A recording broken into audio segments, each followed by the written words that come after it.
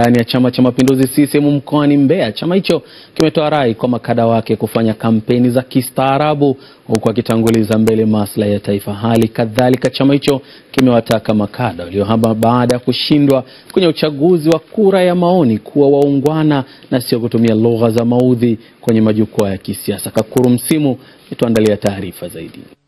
Mjumbe wa halmashauri kuu ya CCM Taifa ambaye pia alikuwa ni miongoni mwa wagombea ubunge jimbo la Mbeya mjini Charles Mwakipesile anatoa kauli yenye tahadhari ili kuinusuru Tanzania kuingia kwenye machafuko. Kuingia kwenye mchakato ni hatua ya kwanza, kushinda ni hatua nyingine. Kama kura zako hazikutosha, sasa kitendo cha kuhama chama na kuenda chama kingine, kwa sababu wewe kula zako hazikutosha, kinaonyesha jinsi ambavyo wewe si mkomavu wa siasa, lakini kinaonyesha jinsi ambavyo wewe huna nia ya kuwatumikia wananchi, bali una nia ya kupata cheo. Kauli hii inawalenga baadhi ya waliokuwa makada wa CCM walioamua kujiunga na upinzani kwa madai ya kutotendewa haki na kukiukwa kwa kanuni za uchaguzi ndani ya chama hicho.